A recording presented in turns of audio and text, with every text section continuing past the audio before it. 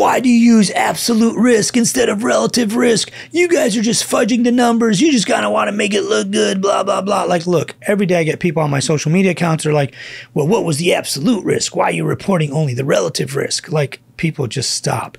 We report everything. There is no conspiracy theory to hide the absolute risks. They are all in the actual study right at the top, at the bottom in the results. It's like these people that are like, who funded the study? You've never read science before. You are literally raising your hand, being like, Hi, I have never read a study in my life. At the top, it says conflicts of interest and funding. It says who funded every single study. You must report it. It's not hidden. It's not a conspiracy. Um, so let's talk about this. We're going to talk about absolute risk versus relative risk, and I'm going to show you why both matter and how you can analyze the data to figure this out. So if you don't know me, I'm Dr. Alo. I'm a board certified cardiologist. Been teaching cardiology at two medical schools for a very long time, and I teach online. You can follow me on every social media platform. Some of them are very short little videos. Some of them are text based, and some of them are long videos and podcasts like this. If you go to Dr. Alo Show, just search Dr. Alo Show in your favorite podcast player. You can find the audio audio version of this. Now, let's talk about this absolute risk, and I'll put the graphs up because I think visually it just makes way more sense. So let's talk about the numbers first. So let's say there's a 10% chance of having a heart attack if you eat a grape. And I'm just making this up. If I don't eat the grape, the risk drops to 9%. So that is a 1% absolute risk reduction from 10% to 9%. 1% absolute risk reduction. However, if you look at the relative risk reduction, there was a 10 in 100 chance of me having a heart attack. And if I don't eat the grape, it's only 9 out of 100. So that is a 10% reduction in relative risk. Instead of a 10%, now it's 9%. That's a 1% or a 10% relative risk reduction. Why do these numbers matter? Because a lot of people are like, well, you guys always report the relative risk when it's the absolute risk that you should report because they're so much smaller. So let's humor these people. Let's say a medication like aspirin reduces risk of stroke by 1% absolute. And let's say for whatever reason it translates into a 32% relative risk reduction. We could be like, listen, relatively speaking, 32% risk risk reduction in strokes for people who are 45 and smoke and have diabetes, right? And then they're like, well, but it's only a 1% reduction. Absolutely. Okay, so does that mean you're not going to take the aspirin? Like, I'm trying to understand the point. What are you trying to say? You don't want to take aspirin because it's just 1% reduction? Like, I'm not understanding the logic that these people have. So then you, you kind of talk to them a little more. You're like, okay, fine. Multiply that by 9 billion people. There's almost 9 billion people on Earth.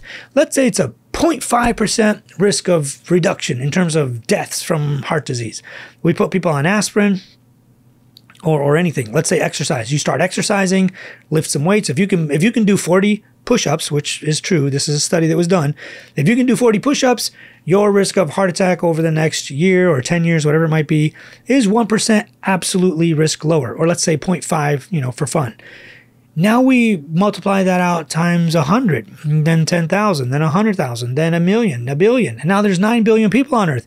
If we can get all 9 billion people to do push ups and do at least 40 a day, now that 0.5% uh, absolute risk reduction, instead of just saving half a person out of 100, multiply that by 9 billion. That's probably, I don't know, I did not do the math. 20, 30 million lives saved a year, something like that, maybe more, I don't know. So it's it's an absolutely ridiculous argument. So scientists eventually came up with ways to explain this that make a little more sense. So I'm going to put up some graphs here and then it's going to be like blatantly obvious why this matters. So let's say there's a person who's 45 years old who smokes. Their chance of developing lung cancer is 3% versus the 45 year old next to them that uh, quit smoking. They're, they also smoked and they quit. Their chance of developing lung cancer is now 2%. And I'll put the graph up here. It goes from 3% to 2%. That is a 1% absolute risk reduction, right? But a 33% relative risk reduction. You're going from you're going from 3 to 2, which is a 33% reduction, relative risk reduction in developing lung cancer. It's still under 5%, right? No big deal. Now let's carry that out over the next 20 years, 30 years, 40 years, 50 years. The person that continues to smoke beyond 45, beyond the age 50, that line of absolute risk reduction skyrockets. It goes way, way up. Uh, it is tremendous, you know, almost to the point of absolute certainty. If you continue to smoke till you're 80 or 90 or 70 or whatever it is, you almost certainly will have lung cancer. That's not really a question. There are some people that don't, you know, 10, 15% people or whatever it might be. I don't know the statistics now. I'm not a lung doctor, but there is a percentage of people that will not get lung cancer and not die from that. Maybe they'll die of heart disease or something different. The other people, the other person that quit by age 50 and never smoked, their relative risk of lung cancer is their risk of their absolute risk of lung cancer is still there. You know, it continues out and you know, it's up here but it's super low. It's still at the end of the day under 5% by age 85 or 90 or whatever it is.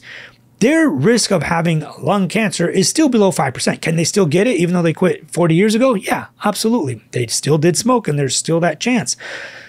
If you notice what the curves separate pretty quickly, the one kind of stays flat and it's still under 5%, the other one skyrockets, and now you have like this tremendous amount of risk of having actual lung cancer to the point of absolute certainty the absolute risk eventually dwarfs the uh, relative risk. Now, let's carry this out to lipid lowering therapy. If your LDL cholesterol, let's say, is 110, or you know, let's use the PESA trial. The PESA trial, LDL cholesterol of 110, by age 40, you have a 45% chance. Well, you, you have 45% of those people, 50%, let's say, just to keep the math simple. If your LDL is 100, 50% of people have plaque, right? Not hard math. If you leave that alone and you continue at that high level of LDL cholesterol, it was 110 actually in the study. Uh, half of those people, the plaque is going to continue to get worse. The other half might not have it as bad, but it also continues to get worse, but it's not as bad. If we were to lower your risk by putting you on medications, a new diet, whatever it might be, your relative risk will drop quite a bit. Your absolute risk will drop also not as much, that it depends on the area under the curve. The time under the curve of the new lower therapy, whether it's statin medications, PCSK9s, low saturated fat diet, whatever the intervention was, you know, exercise, although exercise doesn't really lower your cholesterol much, but whatever the intervention was, the people in the intervention arm had a much lower LDL cholesterol. Over a longer period of time, the area under the curve is much bigger and your risk of now having atherosclerosis or a heart attack or stroke or any of those things with ASCVD is much, much lower. So it really makes no sense to say, why are you only reporting the relative risk? Well, first of all, we report both. there's no like, no one is uh, hiding it. It's not some conspiracy. People think it's some magical conspiracy. They they throw out this graph of cholestyramine, which was this old bile acid sequestrant that they love to use. They're like, well, look, the risk of heart attack not on medicine was 9.8%, and on medicine it was 8.2 or 8.1, something like that, know, something really low. And they have these exaggerated bar graphs to make it look worse. And and I'll put that graphic up here. They say, well, look, do you really want to, does it really matter? Should we really put people on cholesterol or, you know, bile acid sequestrants because they have almost literally zero effect? Well, this is nonsense. This is a way of using graphics to manipulate the data by having the things look, you know, way bigger uh, than they actually are. When you look at actual graphs and charts with areas under the curve and who actually lived longer and who didn't, the longer you are on therapy, the less likely you are to have atherosclerosis. And since that's the number one killer, the less likely you are to die of heart disease. You may absolutely die of something else, or if your LDL goes up later, you quit medications, or you have already accumulated damage, different story if you started late. But if you, at a young enough age, started out on some type of lipid lowering intervention, or were just born with genetically low cholesterol, you know, hypobetalipoproteinemia, if you're born with an LDL of 15 to 25, you're not going to get heart disease. If we treat you with diet interventions, exercise interventions, uh, lipid interventions, therapies, medications, whatever, and get your LDL that low, you're not going to have heart disease. You will absolutely die. We cannot prevent that. And we may add decades to your life. We don't really know. Some of these medications and lipid lowering therapies are newer. What we do know is that the number of people dying of heart disease continues to go down every year. We've had a 80 to 90% reduction of death from heart disease since the 1930s, 1960s, and another 22% in the last 10 years, which is good. But Oh, and this despite a higher burden of chronic disease. More people are diabetic, you know, slightly. More people are hypertensive. More people are obese. More people, you know, they're about the same. Smoking has gone down, but it's still, it hovers about the same now for the last, you know, 20 years or so. But even with a higher burden of obesity and hypertension and other, you know, chronic illness, metabolic disease, we're still having significant reductions in death from heart disease. So over a long enough time horizon, we don't know, but most likely you we're going to see people live even longer, assuming we solve the cancer stuff and some of these other things. Um, so this argument of like absolute risk versus low uh, relative risk is just a bunch of nonsense. This is just noise from people who want you to kind of miss the forest for the trees or they are minoring in the majors or majoring in the minors, I should say. And it's just a bunch of nonsense. These people literally have no idea what they're talking about. These are like the, you know, people on Twitter that are like, what about relative risk and absolute risk? What's the absolute risk reduction on this? Like, do you even understand science? You're the same guy that just asked me who funded the study. Do you not know that you can just click on it and read the funding?